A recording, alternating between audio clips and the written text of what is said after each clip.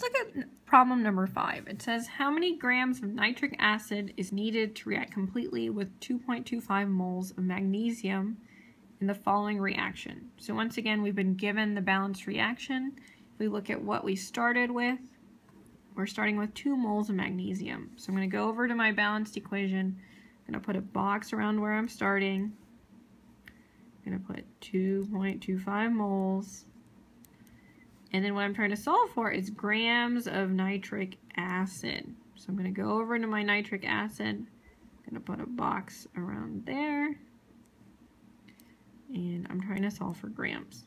So I know when I set up my problem, I should end with my unit being grams of HNO3. So if we set this up, we have 2.25 moles of magnesium. We're going to put what we start with over 1. And then we are going to copy our unit below. So if I moles of magnesium, I'm going to have moles of magnesium up here. Now I can connect moles of magnesium to moles of nitric acid.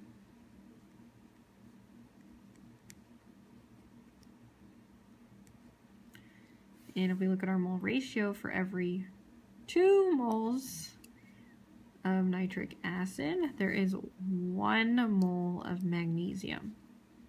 Okay.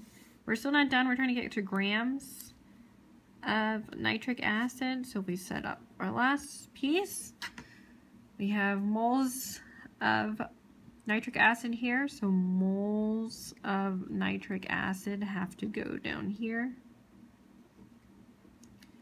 and that can be connected to grams of nitric acid.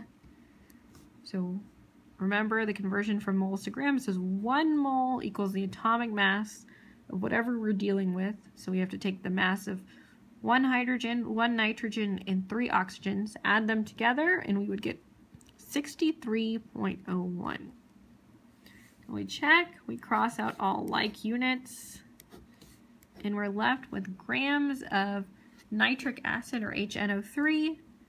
We multiply across and divide, we will find that we have 284 grams of HNO3.